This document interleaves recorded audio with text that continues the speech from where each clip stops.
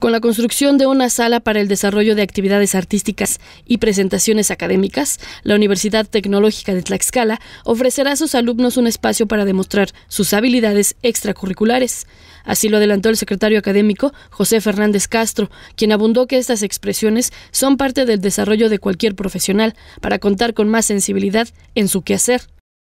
Son salas, dos salas, una sala dividida con desde luego acondicionamiento para oficinas que no teníamos para desarrollar las artes y la cultura.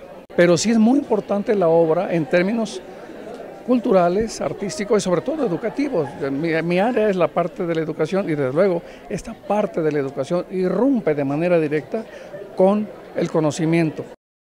Comentó que el conocimiento tecnológico no puede darse por separado del artístico, de ahí que el profesional de esta casa de estudios pasa más horas en un ambiente creativo, en el que desarrolle competencias profesionales atractivas para su futuro. Desde luego hay un señalamiento muy marcado en tanto que las actividades tecnológicas como que mm, se apartan un poco de la parte humanista. Y la verdad es que no es así. Nosotros nunca lo hemos visto de esa manera. Si desde fuera se pudiera ver, desde dentro nosotros somos muy humanos. Ahora noticias, Belén Rodríguez.